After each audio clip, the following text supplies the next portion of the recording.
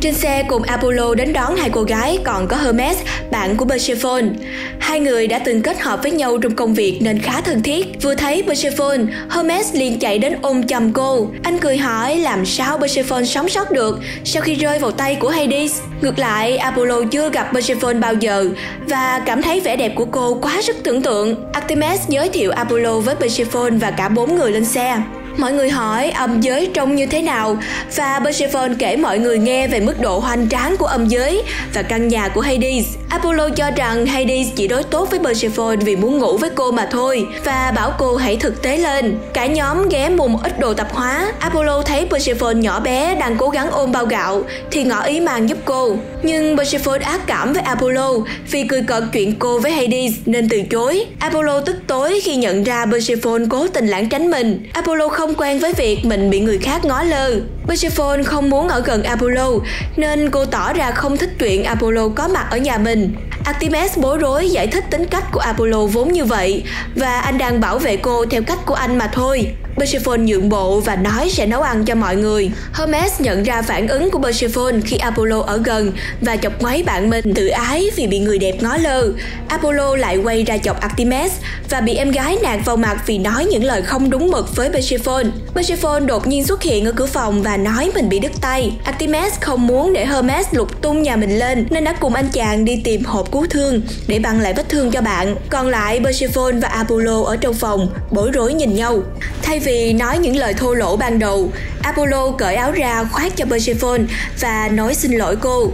Anh mong cô bỏ qua ấn tượng xấu ban đầu và thôi né tránh anh. Anh giải thích mỗi ngày anh phải làm việc rất lâu để đưa mặt trời lên chiếu sáng cõi trần, nên đôi khi anh không kiềm chế được cảm xúc và anh cảm thấy không vui khi biết Persephone đưa mình vào thế nguy hiểm khi ở gần Hades. Hades đã có thể giữ Persephone ở âm giới mãi mãi và không ai có thể đem cô trở về. Apollo nhờ vào quyền năng của mình và thuốc Hermes đem tới, xử lý vết thương hoàn hảo không để lại một vết gì trên tay Persephone.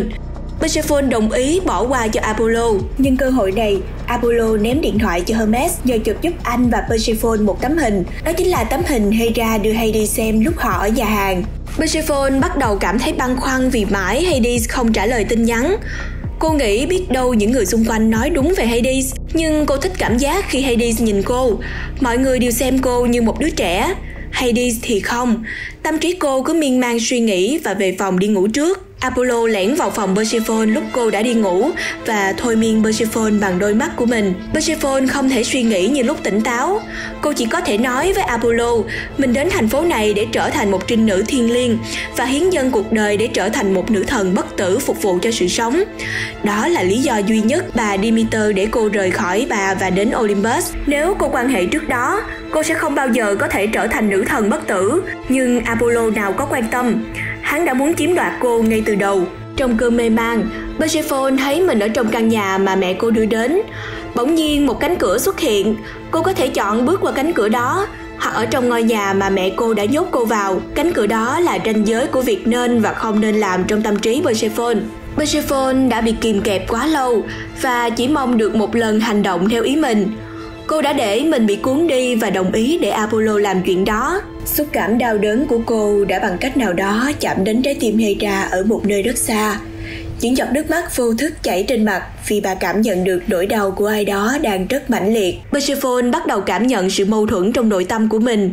Cô nhận ra mình đã để mọi chuyện diễn ra quá nhanh, chưa kịp suy nghĩ mình có nên chống cự hay không, thì tiếng chụp ảnh vang lên. Apollo đã chụp ảnh cô trên giường. Cô không biết việc Apollo đang làm và việc cô đang làm là đúng hay sai nữa. Persephone chỉ biết im lặng chịu đựng cơn đau, giấu những giọt nước mắt cho đến lúc Apollo rời khỏi giường. Persephone tỉnh giấc, nhưng vẫn vất ván vì phép thôi miên của Apollo.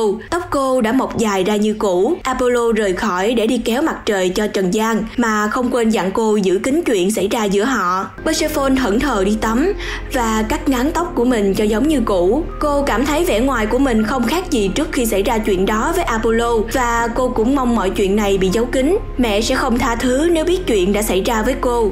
Trong khoảnh khắc suy sụp, cô không còn quan tâm gì đến những suy nghĩ trói buộc mình trước đó nữa. Cô vừa khóc vừa nhắn tin cho Hades. Em biết anh rất bận, em chỉ muốn cảm ơn anh về cái áo khoác. Điện thoại của cô rung lên.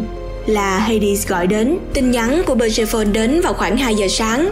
Hades đang ngủ trên giường mình và mơ về những ký ức xa xưa khi anh vừa tròn 5 tuổi. Khi vừa sinh, mẹ đã gọi anh là Adonis, Bà đã rất dịu dàng và luôn khuyến khích sức mạnh của anh. Bà luôn phải bảo vệ anh khỏi cha của chính anh, chồng bà, Cronus. Từ khi sinh ra, Adonis đã bị tiên tri là kẻ giết chết cha mẹ mình. Rena, mẹ anh không tin là tiên tri đó nên đã luôn giấu anh khỏi tầm với của Cronus. Cronus biết Rena yêu con trai rất nhiều, nên ông vẫn nhân nhượng để hai người ở bên nhau.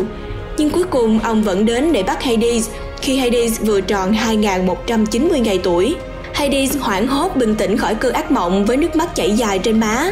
Anh tự trấn an mình Cronus đang ở địa ngục và anh vẫn an toàn cầm lấy điện thoại. Hades thấy tin nhắn thứ hai của Persephone, vô cùng hoảng hốt khi nhận ra mình đã bỏ qua tin nhắn của Persephone. Hades lập tức gọi điện cho cô. Persephone nghe điện thoại và họ có cơ hội nói chuyện với nhau từ cái ngày cô ở nhà Hades. Hades nhận ra Persephone đang khóc dù Persephone phủ nhận.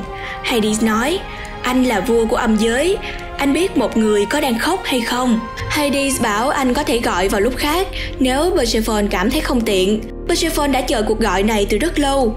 Cô vội vàng nói với Hades đừng cúp máy, cô không muốn ở một mình vào lúc này.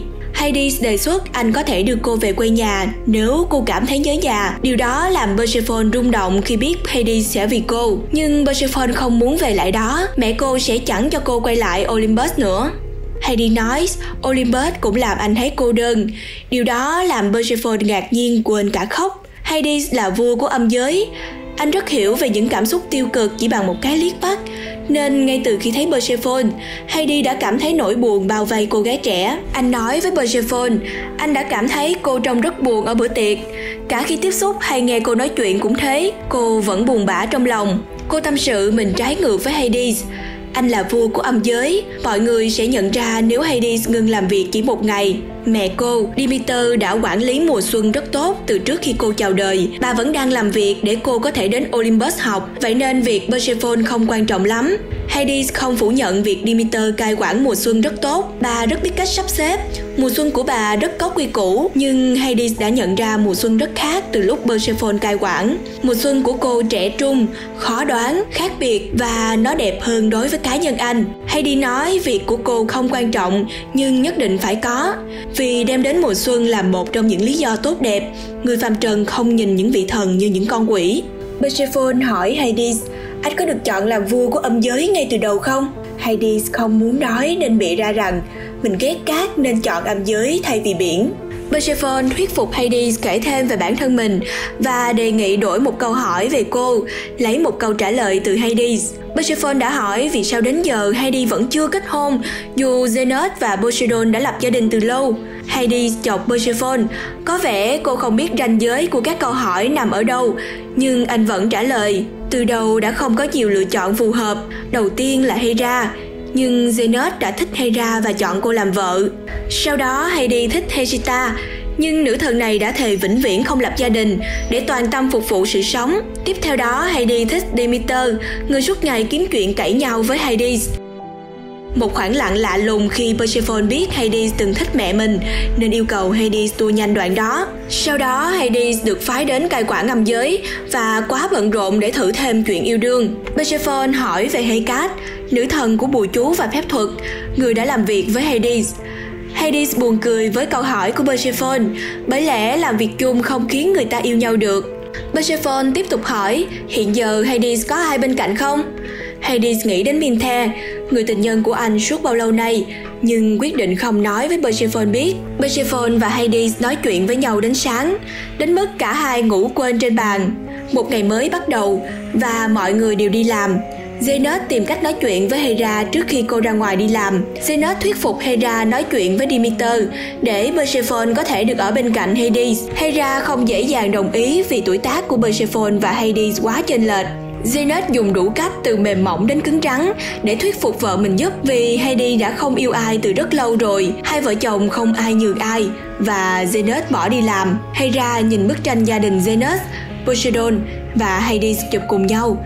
Chỉ có Hades đứng một mình vì chưa lập gia đình. Hera bắt đầu suy nghĩ về việc mình cho Hades xem bức tranh của Persephone chụp với Apollo. Hera nghĩ Persephone có vẻ không thích Apollo cho lắm và quyết định đây là một bài kiểm tra để Hades chứng tỏ tình yêu với Persephone. Persephone đã từng gặp Hera lúc nhỏ, Lần này Hera gọi Persephone đến vì muốn giao việc cho cô làm khi cô đang học tại Olympus, để cô có cơ hội đóng góp thêm cho thần giới trên tờ trao đổi thực tập sinh Olympus đến với âm giới có tên của Persephone, làm việc và báo cáo trực tiếp cho Hades.